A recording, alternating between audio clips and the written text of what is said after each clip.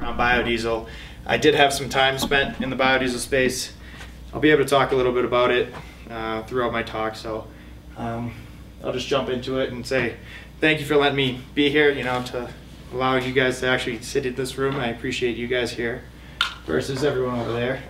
um, so my name's Justin Gauvin. I actually drove in from Northville, Michigan to come here to talk about uh, Verego. So probably my first question is, who drove here? Anyone? You drove here? How, how long? How many miles? 1.4. Yourself? 14 hours. 14 hours. All right, I'm pretty sure I got everyone beat.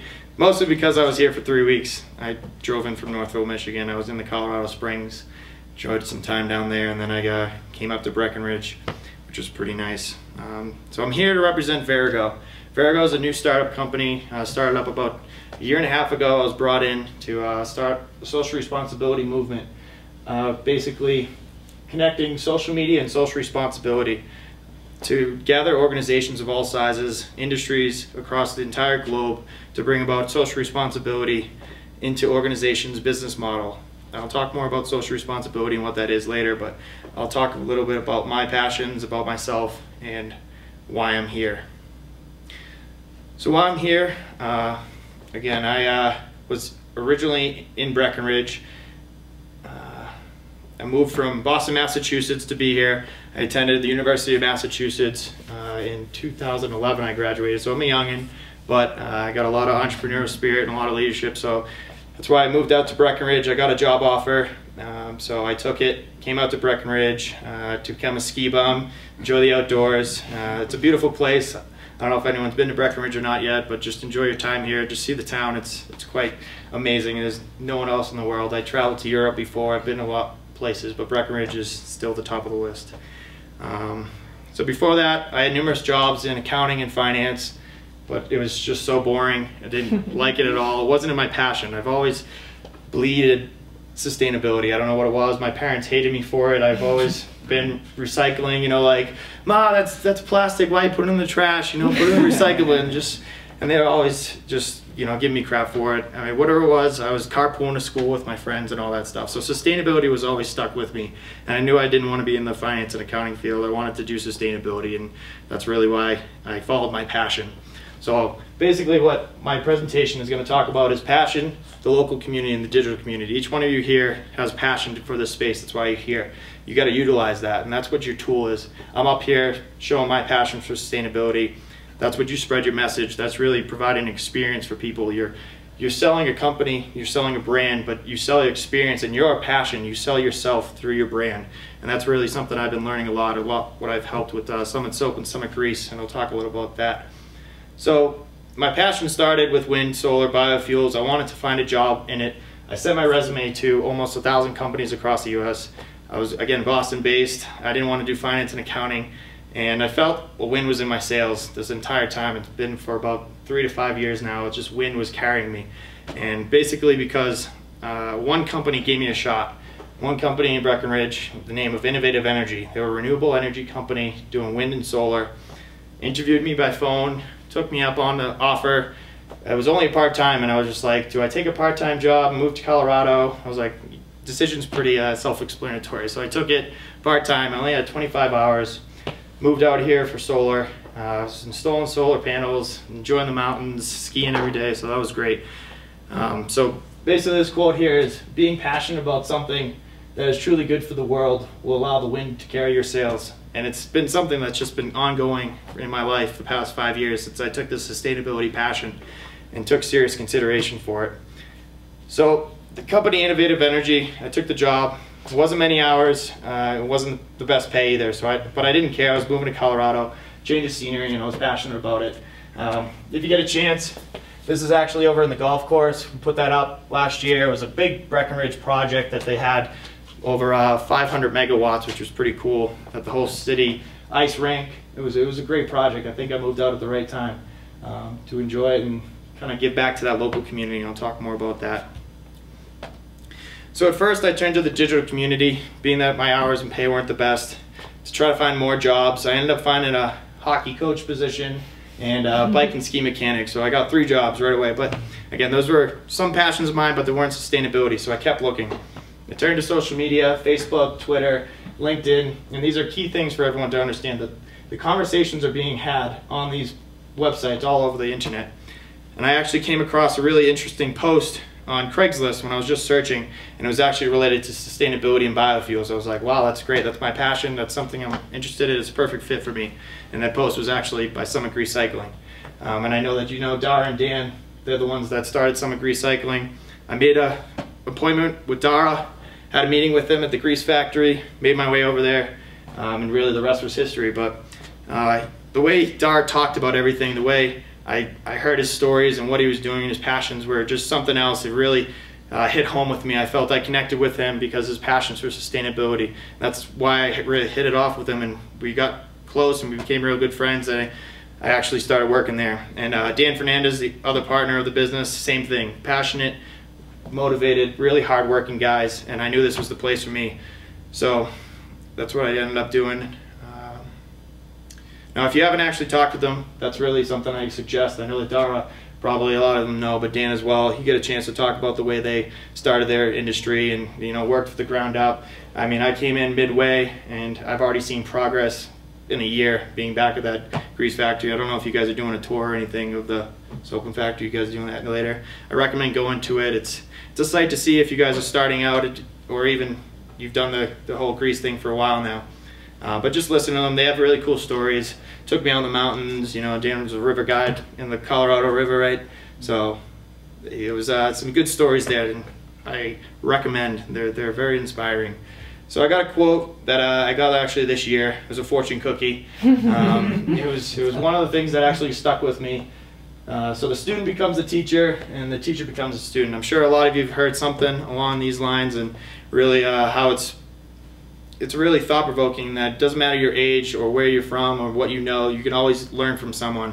Um, so this quote really stuck with me, and it actually was something that I, have been doing, I think, my whole life, where I was always allowing people to educate me and, and learn from whatever they were, no matter if they were younger or if they were older. There was something there, um, and that's what I really got with Summit Recycling and Summit Soap. They allowed me to to learn and be educated, and they even took stuff from me.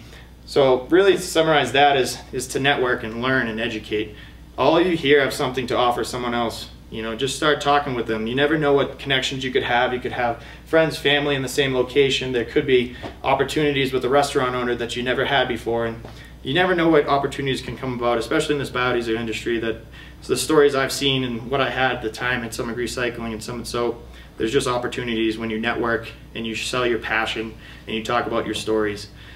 So long story short, again, a, a, few months later, I ended up working with Dan and Dara for a whole year and a half. So I had my innovative job. I had Summit Recycling. I was dumping QBs. I was making soap. I was learning all the processes. It was a time of a it was the time of my life. It was it was great. Um, I actually got the nickname Hammer. Uh, you guys can ask me a little bit about that one. It's it's not the, the cool name of it. It was actually because I, I broke a lot of shit. so um, it was a good name there, but uh, it stuck with me. But it actually it, it, built my confidence to learn and be more attention to detail. And I recommend that, especially in the biodiesel industry, just because of the things you guys are working with. And um, it's some big machinery, and, and you'll learn that from some of the mistakes. I'll tell a story in a little bit, but because I didn't, because of my passion, I reached out to Dan and Dara, and uh, because of that, it actually led me to learn about a triple bottom line business model, and that's really what Verego is all about, is business um, based off people, planet, and profit. Uh, I think this is where a lot of industries are going, and this is what Verego is actually handling with Fortune 50 companies right now, and that's really a big thing right now. I know you guys are small, medium-sized companies, but Verego is looking forward to working with small, medium-sized companies as well as these large organizations. Um, so really, it's because of these guys at Innovative and Summit Grease that got me on my way. They taught me a lot of unique skills, uh, kept me passionate about sustainability, and because of everything there, um, I actually dislocated my shoulder, had shoulder surgery from being a ski bum.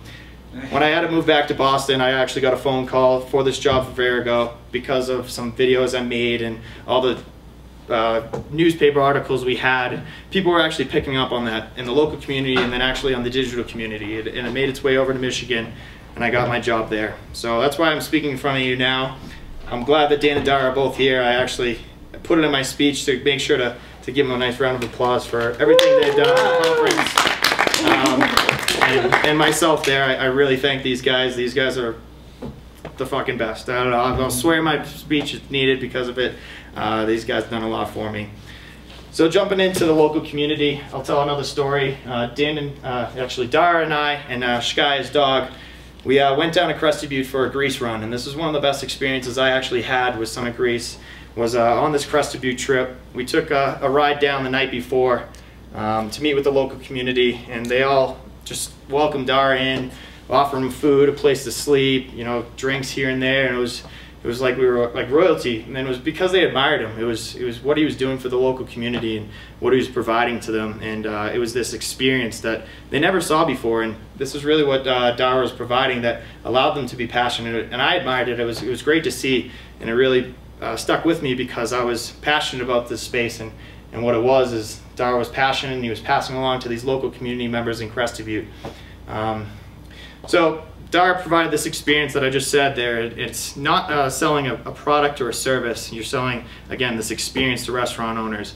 The restaurant owner would talk to anyone about, yeah, okay, I'll get my grease picked up. But because Dara went in and talked about Summit Grease and how we're collecting your cubies to be put into byproducts as opposed to your cubies were going into dumpsters, which were going into landfills, it just really hit home with these um, restaurant owners that could now have some guys just come pick up their service, uh, their QBs, opposed to their workers doing this for them. It was helping their product. I mean, it was a lot of cool things that the experience was provided, and that's really what the sale is, um, is providing an experience. So, long story short, uh, Dara and I ended up waking up the next morning for this Crested Butte uh, pickup to about a foot of snow it was, it was pretty wild to see uh, waking up. We didn't check the radar, I think because we were experiencing the local community a little too much, but it was, it was a good time there in Crested Butte. But because we, we offered this experience to this local community, we had to get it done. And that was because of our passion, that was because of the experience we promised. And then we started to get even more admiration with people who admired us more because they saw us covered in snow and, and hauling these cubies around and it was uh, it was a trip. And I'll show you a little bit about that. I'll be able to point it out in a video I'll show you guys later. Um, but we got the job done and again it was because of our passion.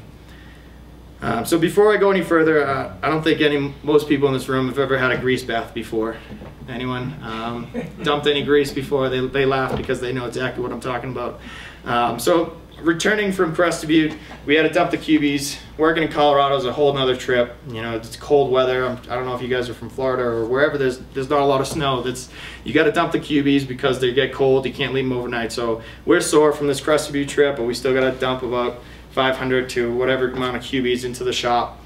Wake up the next morning, still sore. Uh, need to put a load up for Kurt. Uh, to bring down a boulder. So this is all the good grease to make biodiesel and, and so forth. So we're pumping. I get to the, about the, the fifth uh, tote. And uh, this is another lesson in attention to detail. So I, I scream, shut off the, shut off the generator. Generator shut off, that doesn't matter. I pull the valve off. Forgot to shut the valve. 30 to 50 gallons of grease. Pouring down head to toe, covered in grease. It was it was a big mess. It just kept pouring, pouring. It's, it's, it's not a fun thing. But it's still uh, on your tab, by the way. Sorry. It's still on your tab. 30, 50 gallons. Exactly. It's it's it's a commodity, and that's really what I was getting into. Is uh, I didn't care really about my clothes or you know what just happened. It was more the thought right away was I was pissed off that the local community now wasn't getting to get this 30 to 50 gallons of good grease. It wasn't going to be turned into biodiesel. It wasn't going to be turned into soap. It wasn't going to be turned into other byproducts. And that was something that really hit me. And it was, I don't know if it was my passion or whatnot. It was because of how I saw the process, the effort we put in in Crested Butte, collecting the grease to then turn it and put into biodiesel to put into cars. It was just this chain of events that really hit home to me and it pissed me off and I guess I still owe that tab for the money lost because of everything that it can be turned into. It's a precious commodity. Um, and it, it, was really this biodiesel ecosystem that was affected. And I'll talk about an, an ecosystem a little bit more. so everything I talked about is based off three things. Passion, the local community, and the digital community. Again, the digital community, I was able to find jobs because I was passionate and I found my sustainability spot. The local community, you need to work for them. They are the biggest thing out there. The local community provides your business, really. And if you're working for them and providing them benefit, they can provide value and opportunities for you because you're going to be talking about an experience, you're selling your passion. Uh, there's a book out there that says uh, one positive message with word of mouth advertising leads to about three more uh, people talking about it in a positive light. You spread, spread something negative to one person, it could turn into th- 3,000 people. Now, this is a negative media impact that you can see all across the internet, across television, and so forth. So, this is really the digital community space where, you know, when you're searching and finding inspiring, be positive, put yourself out there and educate in some sort of light. And I'll talk more about that on what's being said on YouTube and Twitter. Uh, you guys are really the message and the brand to be passed along in the biodiesel industry. Uh, put yourselves out there for it all. So again, passion, the local community, and the digital community. And I want you to think about all three of those for your own personal business model. It's going to be different. There's all different local communities of where you're located. So I'll talk more about the digital community first. Uh, this quote here, social media is the ultimate equalizer. It gives a voice and a platform to anyone willing to engage. So really, this company I work for in uh, Detroit is a social media monitoring software. The large organizations are doing, and that's what I'm, I'm here to hopefully be able to pass into these small, medium organizations is GM, we work with GM. They, they monitor all the cars on social media. Whatever you say, say my Ford transmission just broke down. They are monitoring you saying that about your car, and then they're now engaging you. And they're spreading customer service on social media platforms. And I think this can be relayed in uh, the biodiesel space or any of the spaces related to what you guys are doing with these byproducts. Because I found it, um, I went on to LinkedIn, and there's actually over 30,000 biodiesel groups, people, everyone connected in there. And I know there's not 30,000 people here this weekend. Um, basically, as I'm trying to say is I want to double this and triple this amount of people here uh, the next few conferences. Uh, so just start a conversation with people. That's what I've been doing a lot lately this year is just starting conversations with people related to my passion and sustainability or even biodiesel, whatever it is. Um, you can find them Another post on social media, I just went out there and this is what you can do yourselves. Just go on any of these social media portals and start searching. Uh, typing in anything you think that's related to your industry. I typed in biodiesel truck conversion and I, I got to show trucks. Um, I really think it should be someone more in this industry that can showcase what it is and the funny thing was I couldn't actually find a whole step-by-step approach of putting in a biodiesel conversion kit. Um, so I think that's something that uh, if you guys are into video editing or any movie making, uh, there's a value add to doing videos. Uh, if you guys know what Google search engine optimization is, if you go on Google and you type in something, uh, the list will go populated based off that search terminology. Videos are actually 50 times more uh, relevant in a Google search term. So if you guys like YouTube or you like making videos, I suggest doing a biodiesel truck conversion kit and then start engaging other customers that are talking about this.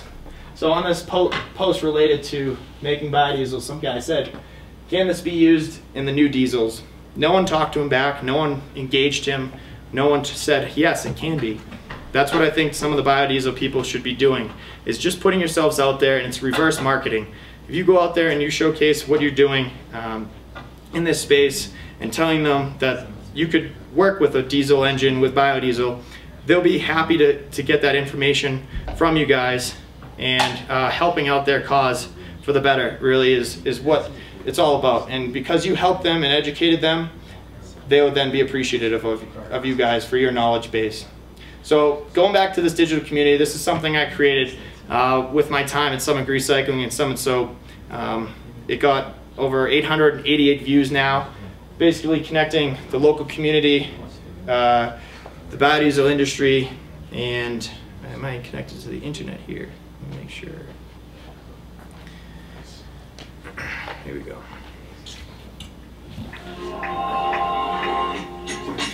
So this is really showing the process of how we make byproducts with Summit Soap, we, go to these wild grease guys, collecting fries. This was our Crested Butte trip in the snow. Uh, taking that grease, mixing it, putting some good stuff, some uh, smelly aromas to make some Summit Soap. Uh, going through the process, cutting boards, gotta mix it all, make sure it's poured right, let it settle. Doing all these really cool things that Dan and Dara have been able to perfect over the years really cool tools, making sure everything's uniform. Yeah, mass production, it's crazy.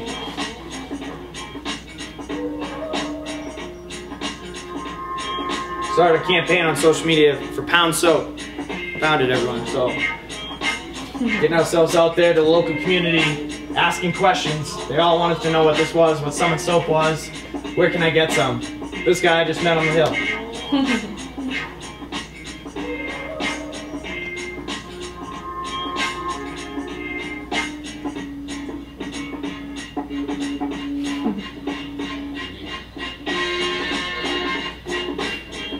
something you can do there. It's a little cool marketing, but uh, basically because YouTube's out there, this message can now be branded. They can see how the process is made, what they went through. You saw the snowy weather. That was that Crested Butte trip. I actually wanted to go down there and I was like, I gotta film this and what are you're doing um, basically around the local community in Crested Butte.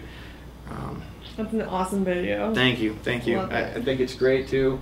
Um, again, it was because I was passionate. I, I enjoy video editing, but I enjoyed mostly uh, the process of how you can take French fry grease that you just ate, turn it into soap. It just it's kind of a weird thought, but it, it I still use it to this day. It's the best smelling soap I've ever had.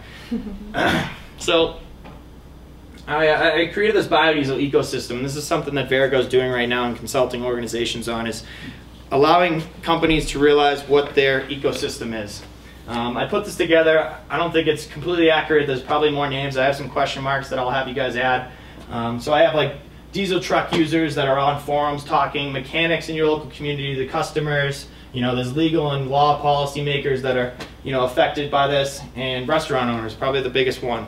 Uh, this is something that everyone should think about every day is because you are in the middle, but pretend you're not in the middle right now. This ecosystem was operating before you ever came into the picture, before biodiesel and uh, collecting grease was ever in, entailed. They had a business model, and uh, really they could operate without you, technically. So you have to jump in the middle and operate and provide connections to each other and how you can better the process for a restaurant owner. For example, like I talked about in an experience, how are you going to benefit that company, that restaurant owner? How are you going to be able to um, collect their grease, take it out of landfills, connect the dots about their pains? It's about selling pains nowadays. It's, it's really um, my pain of being a restaurant owner is maybe it's going to landfill because I'm passionate about sustainability.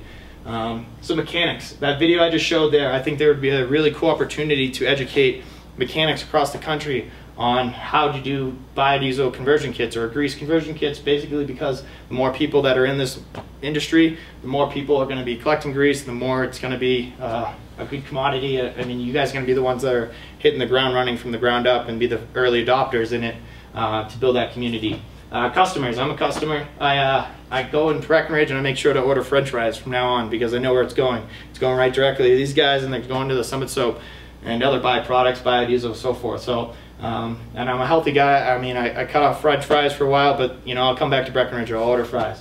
It's it's a bunch of different things like that that really uh, makes the business and the ecosystem work. Uh, so again, restaurant owners will then educate customers. Customers can educate mechanics and so forth. They're all going to start uh, this this pool together if, if that makes all sense. And uh, diesel truck owners, that's digital community one. You educating each other uh, in this space, how the biodiesel industry can uh, better perform diesel trucks. But again, this is a conversation and you guys getting out there and inspiring them. So I don't know if anyone else can add something else to maybe what this ecosystem is. You know, any other uh, possibility, people or organizations that can better your organization. Maybe I got them all. I don't know. If you guys have one or two, we can talk about it. The producer. The producer, Biodiesel Producer. the a producer. So They're, they're in there. They're definitely in there. They're connected to you because you guys are collecting that grease. You're bringing it down to biodiesel, producer. If they didn't have you in the middle, biodiesel producer wouldn't be able to make biodiesel. Simple. Um, so you got to think about those. Everyone in these ecosystems should be thought about each day. Your passion should be sold to it. The local community should be thought about it, and you should be connecting on the digital community about it. So those three things again, what I what talked about throughout the whole time. So I'll jump about what Verego is. Uh, I'm not going to talk a lot about it. I don't want to just sell a company right now. It's, it's really uh, basically selling social responsibility. And every organization should be thinking about social responsibility from the business model, uh, from the ground up. No matter small, medium, large, uh, it's actually harder for larger organizations to implement it now. And that's really why I think small companies like the biodiesel industry that are getting started off should think about it right away when they start. Uh, social responsibility and sustainability have kind of been interchangeably lately, and uh, it's actually not the same thing. Sustainability has been thought to be like environment connected there, but really sustainability as a whole would be how to better and improve your future. How are you going to be thinking about your business model sustaining into the future? Social responsibility thinks about you know today. What are you guys doing for your local community? How are you bettering uh, organizations uh, around you? How the community's involved and engaging. So let me let me stop there and say social responsibility is built on four areas: ethical conduct, how you're ethically treating people around you; human rights, how are you treating the employees you have, community involvement and community engagement. What are you doing with the local communities? You can get tax breaks, you can do uh, programs in your local community to market your company. There's tons of ways to improve your community, but it will also improve your business. And then finally, it's uh, environmental stewardship. Just like sustainability and all those things, social responsibility actually has pieces of environment in it. Uh, so that's what Verego's doing. We're, we're putting together uh, a social responsibility movement, mixing social media and social responsibility to create a social responsibility responsibility movement into small, medium, and large organizations. Uh, what we've done is create a standard that can be uh, passed along into these business models no matter what industry you're in. Uh, it's not unique or specific to whatever industry you're in. It will work for your organization because it's the basic principles of how an organization should be uh, done. Social responsibility and sustainability has been around for 150 years. It's, it's a very old business model, but um, I think that people became profitable and started being greedy, and uh, it's really this triple bottom line that uh, Dan and Dara were doing that really sparked this interest. And um, uh, it was funny that they connected the dots and brought me on with Verego, uh, but because of my time spent with Summit Recycling and Summit Soap, I was able to really uh, be in it and understand what it was all about. So really that's everything there. Um, you can go on verego.com. There's a, a cloud matrix assessment which will align what your commitments are and what your capabilities are. It's free. Just take it. I, I just want to be able to help you guys uh, understand what's the potential of your business model by looking at social responsibility. Uh, if you take this assessment, it takes 10 minutes. It will provide me some data, but it will also provide you guys a, a hell of a lot more data. Uh, and I'll be able to consult you and help you with everything you guys need to try to uh, bring this biodiesel industry bigger and better because I really see such potential in it um, I owned a diesel truck for a little while, about two months, but uh, I was able to really see what it was all about. And uh, I got a fast forward lesson in it all, but I, I, still keep my hand in it basically because of Verego now. Um, so feel free to check it out at verego.com. My email's there. I got business cards too. Uh, I know it's not the biodiesel industry, but I know I can help you guys out. Um, so thank you for your time. Woo, woo. Thanks, guys. Hey, Justin, since you, I mean, since we have some I got time, questions. Yeah, I got time. Yeah, Let me know how. Just talk about Verego for a bit. I'd love to hear more about like what the process is to verify businesses, how how people get into it, how Great. long it takes. Yeah, so uh, basically what we've tried to do is make it a very repeatable process and easy for organizations for all sizes. So we're online and what we're going to be doing is uh, putting really the start. You, you do the CSR Cloud Matrix, see what your organization is doing and your commitments, meaning what you're committed to doing, and then your capabilities is more so those documented policies and approaches and what you guys are doing structurally uh, to get your better business and social responsibility. So those are your commitments and your capabilities. We'll start there with this assessment that I just talked about. Again, that's free. So you don't even have to worry about trying to get all costly and all that things. After we'll do that, we'll kind of go back with you guys and consult you on everything you filled out in this cloud matrix. Uh, we'll go through an assessment there, and then if you guys want to go further into it, we will do a full audit and uh, consulting assessment. That basically goes through the social responsibility standard. I kind of want to pull that up so you guys can look at it uh, to give you a better idea of what uh, Verego is doing. So you, if you, anyone's ever heard of ISO or other OSHA standards or certifications, and I know there's a thousand out there, but basically, there isn't one that's very uh, broad and easy to format and, and, align yourselves with. And this is what Verego's found and positioned ourselves as a niche market. ISO and B Corporation, it takes so long to uh, go through your assessment, fill out all these questions and stuff that isn't related to your industry. And that's really what we found. This common standard that can be applied to organizations of all sizes and all industries uh, basically goes over your commitments to social responsibility, what you're doing with your customers, how are you transparent? How are you aligning yourselves on uh, your website? Are you highlighting what you're doing ethically um, in your human rights and environment? Um, I've been working a lot with business to business companies and aligning these. And uh, there's a, a, value add there because uh, as a large Fortune 50 company, if I have a bunch of suppliers in my supply chain and there's child labor, you've heard of Apple and what they've done with child labor and how that negatively impacts. Like I said, one negative comment leads to 3,000 negative comments. And uh, there's a lot of social media out there being talked about. And one thing happens, it's literally seconds that this message gets put worldwide. So uh, that, that's really what happens in the supply chain and how we're realizing the risk management of the suppliers in uh, large buying organizations, uh, which, which have global supply chains. Uh, but it also is able to provide value to organizations that are doing business to customer.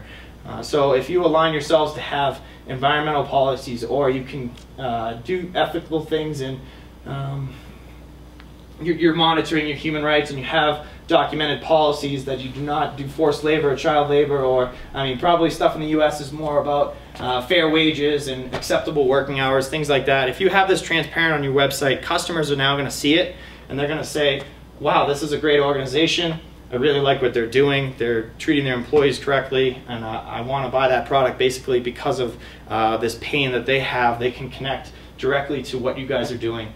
So basically, that's that's really what social responsibility is. Uh, it's those five areas, and this is what Verego's been able to align ourselves and put the best broad terminology in. Um, the environment is probably what you guys are doing a lot of, um, and should probably look at as far as pollution, uh, the resources used, how you're connecting to climate, and uh, the habitat or the, that community that you're based in. How are you helping better perform there? And, and, we'll go through an assessment of all these areas. We'll ask questions on all these basic areas. It could literally take a week to go through your assessment. Um, we'll take it back. It's really on us to then assess what you guys have already in place.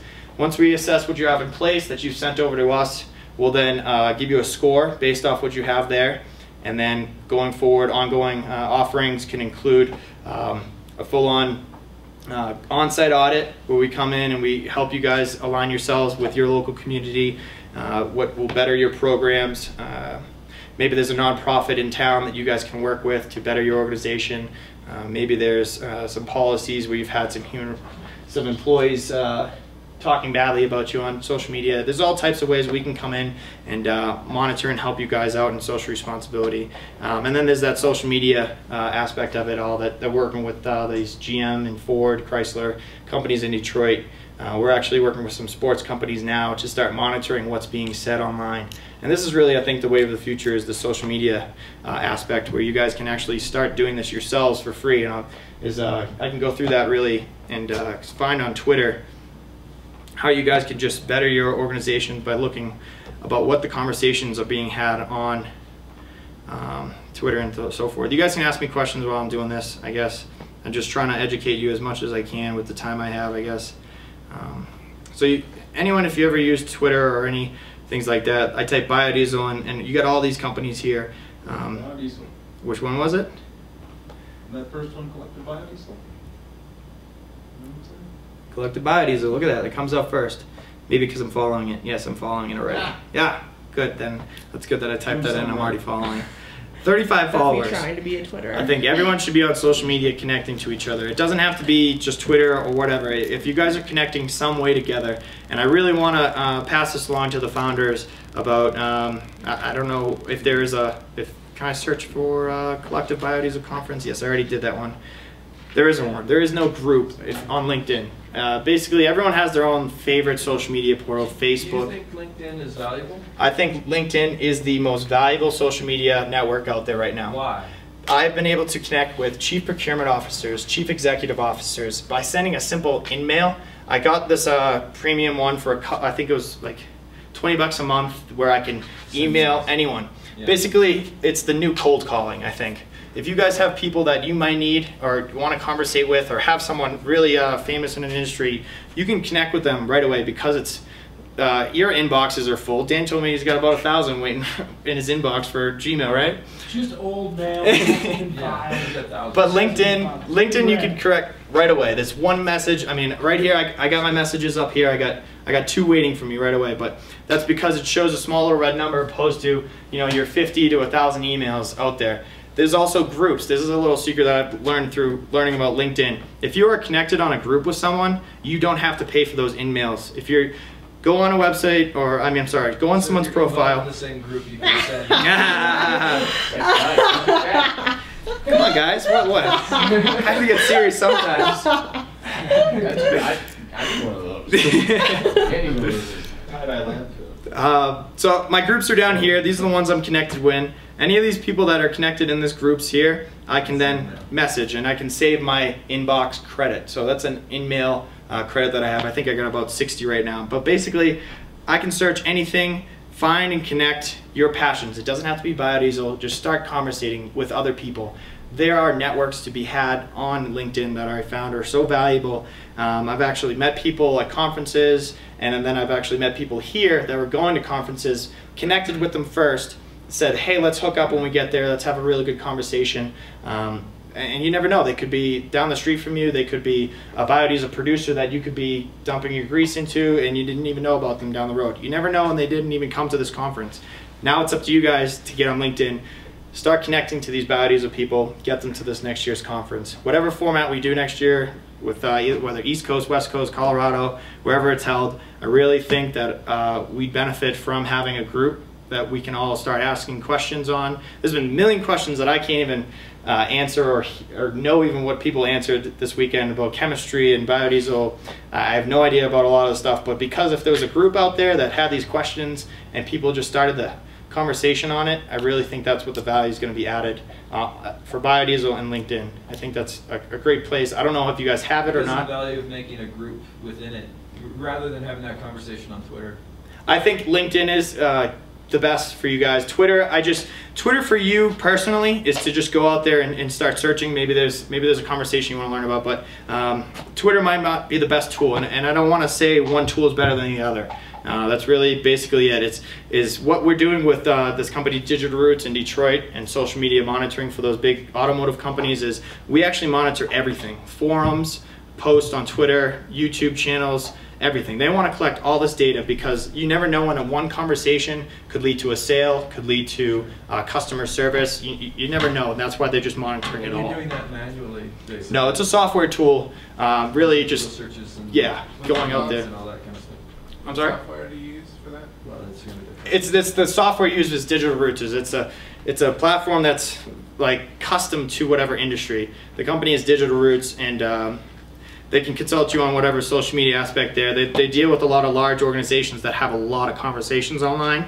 Um, basically, they could probably set up for any industry that you can think about that has a, a lot of conversations on every single portal that they just can't go out there because I'm manually searching right now. I'll type in biodiesel. That's me manually searching for whatever posts are being had on there. There's people, there's photos connected to biodiesel. There's all different things there. I mean, these are great things too that you guys could all start learning and educating yourselves on. Like just getting out there and, and, and searching. I, I recommend at least an hour a week to just going on and searching on all these platforms to connect and find maybe there's a conversation, maybe there's a biodiesel guy right here in Colorado that you didn't even know, or your local community you didn't know. I don't know.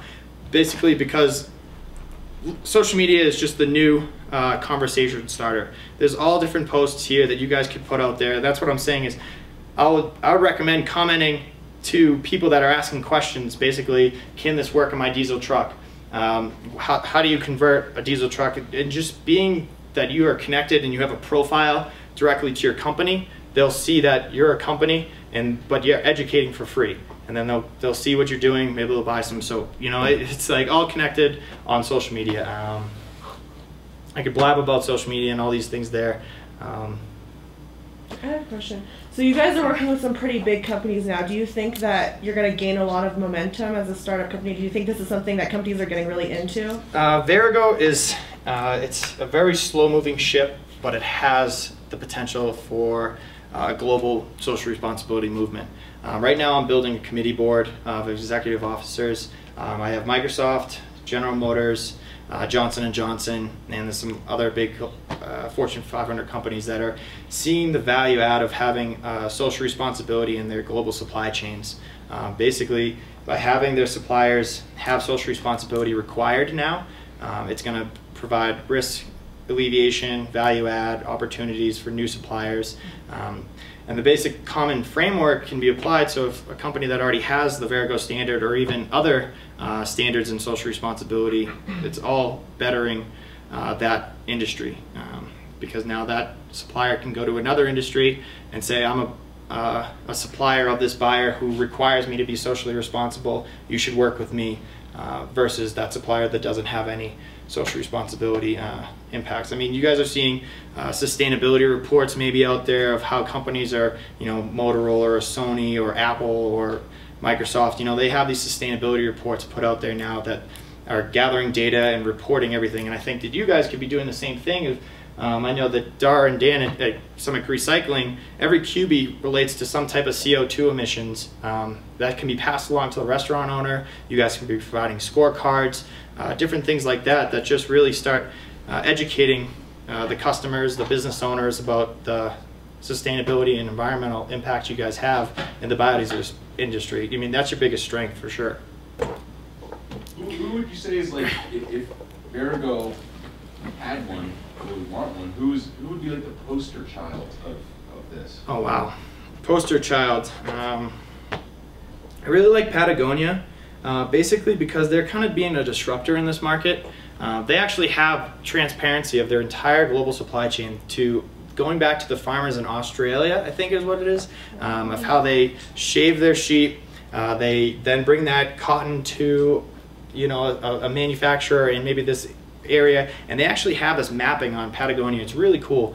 Um, they're doing just being transparent. They're actually saying, don't buy our clothes. Um, you know, go and, and find clothes uh, at thrift stores and stuff like that. And it's just marketing wise and, and customers, even myself, am like, damn, I want Patagonia now just because of what they're doing. And um, they're honest, they're transparent, they care about what their community is, they care about the environment, uh, basically because they're showing it. They, they say they're not the best company. I mean, there's there's obviously some negativity, but because they're transparent about this negativity and they're honest about it, customers are actually appreciating that, opposed to liars in the industry. So Patagonia would probably be my favorite. Uh, basically, they'd be the Procer's child of Verego because of how transparent they are, what they're doing in the environment, how they're uh, publicly talking about how they handle their workers and employees uh, globally. So. Um, yeah, I, don't, I, I mean, can I get some feedback as far as what, what Verego kind of means to you guys, or do you feel there's potential for um, you know, your organizations and things like that? Is there any? Um, I was just wondering, um, you typically see these larger companies with CSR, people working just on CSR in-house. mhm. So I, I'm assuming you're seeing enough demand for like third-party CSR advising per se? Mhm, mhm. Um, like how, how do you guys like, what do you offer to them if they, you know what I'm saying, an additional? Absolutely. Um, it's, it's really right now is this validation that we are offering you guys is that we're going to be uh, assessing on the Verego social responsibility standard that I showed you. And basically this standard can be conversated with other industries that are doing the exact same framework. Uh, because of the CSR and organizations, uh, they can be unique to that business model and they can't actually conversate with another industry uh, about what they're doing in CSR. What our goal is to have this committee board of Microsoft, Johnson, GM, and whatever other leaders, they can conversate about everything social responsibility across industries. Say, I did this program, you guys should try this program. Uh, basically, it's, it's trying to create a common language uh, across CSR instead of It's essentially a standard so you can compare companies. Exactly. Compare performance and supply chain between Mhm. companies. Mhm. Because like in-house CSR may perform their audits different than, you know, Exactly. other companies. Yeah, and, and that's the thing. We don't really like. I, I'm so against like competition and competing with other standards and things like that. If if they have ISO in place, great, they're doing it. It's really the basically the social responsibility movement is just getting out there and thinking about it and start doing it because there actually is shared value opportunities by doing it.